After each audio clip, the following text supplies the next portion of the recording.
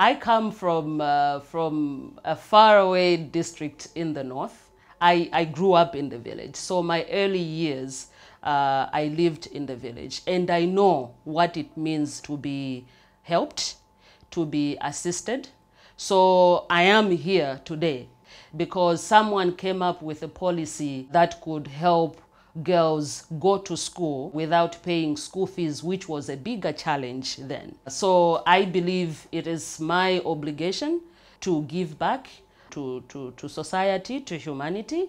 But I also believe that my happiness as a person is also tied to other people's happiness and health. So I cannot be happy, I cannot be healthy if uh, one of my community members is not healthy.